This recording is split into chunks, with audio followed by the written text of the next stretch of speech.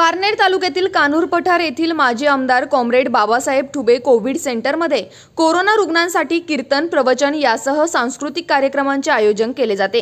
रविवार दिनांक सतरा मे रोजी सायंकाळी सहा वाजता हरिभक्त पारायण लक्ष्मण महाराज कोठावळे यांनी प्रवचन रूपी सेवा सादर केली. या कोविड सेंटरमध्ये सर्व रुग्णांची दररोज तपासणी केली जाते. सर्व रूम्सची सॅनिटायझरने फवारणी करतात. रुग्णांसाठी सकाळी योग प्राणायाम घेतला जातो. येथे सर्व रुग्णांना रुचकर नाश्ता जेवण फलाहार शुद्ध पाणी दिले जाते. रुग्णांची ने आण करण्यासाठी स्वतंत्र अँब्युलन्सची सुविधा सुद्धा पुरवण्यात आली आहे.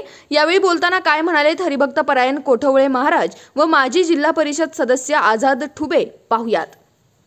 या बातमीची काही दृश्य पाठवली आहेत आमचे पारनेर प्रतिनिधी महेश शिंगोटे यांनी. पाहुयात. चित्र आठव्या अध्यायामध्ये आलेले आहे. आध्यात्मिक दृष्टिकोनातूनही ती पहा. आणि शास्त्रीय दृष्टिकोनातून पहा ही सत्य घटना आहे. ही दंतकथा नाही. ही कल्पना नाही. हे मिथक नाही. म्हणून आपल्या भारत देशामध्ये पारनेर तालुक्यानं आरोग्य सेवेच्या माध्यमातून प्राचीन कालखंडापासून तर आजपर्यंत अतिशय मोलाची कामगिरी बजावली आहे. आणखीन साधू संतांनी काय सांगितलं? की तुम्ही जीवनामध्ये चांगलं वागावं.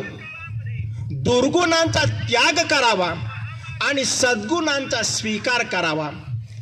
आपणाला पौराणिक कथा माहिती आहे. त्या कथेचा फक्त संदर्भ देऊन संत निळोबारायांचा दुसरा मी संदर्भ तुम्हाला सांगत आहे. पौराणिक कथा आपण खडखडीत बरे झाले आणि चालू लागले. निळोबारायांची वारी झालेली आहे. आणि ते पुन्हा पारनेरला आलेले आहेत. तेव्हा रामचंद्र पाटील भोलोजी पाटलांना म्हणाले की आपण निळोबारायांच्या भेटीसाठी पारनेरला जाऊ. आणि मग भोलोजी पाटलांनी बैलगाडी जुंपलेली आहे. रामचंद्र पाटील बैलगाडीमध्ये बसले. पारनेरला आलेले आहे आणि रामचंद्र पाटलांनी निळोबराय महाराजांचं दर्शन घेतलं आणि सांगितलं की तुमच्यामुळे माझा पुनर्जन्म झाला. तुम्ही सांगितल्याप्रमाणे मी हातानं टाळी वाजवली मुखानं विठ्ठलाचं नामस्मरण केलं मी पूर्णपणे बरा झालो. आता इथून पुढं मला तुमचीच सेवा करायची आहे आणि तुम्ही माझ्या घरी पिंपळणेला राहण्यासाठी या. आम्ही कानूर पठार या ठिकाणी कैलासवासी comrade Babasaheb Thube covid care सेंटरची स्थापना साधारणपणे वीस दिवसापूर्वी या ठिकाणी केली. त्यामध्ये तालुक्या आणि तालुक्याच्या बाहेरीलसुद्धा या ठिकाणी बरेचसे पेशंट या ठिकाणी आमच्याकडे येऊन ॲडमिट झाले. कारण कोविडसारखा महाभयंकर रोग आणि या रोगाच्या काळातसुद्धा प्राथमिक अवस्थेमध्ये ज्या लोकांना कोविडची लागण झाली अशा लोकांचं मानसिक मनोधैर्य वाढवण्याचं काम खऱ्या अर्थानं आमचं कोविड सेंटर या ठिकाणी करतं.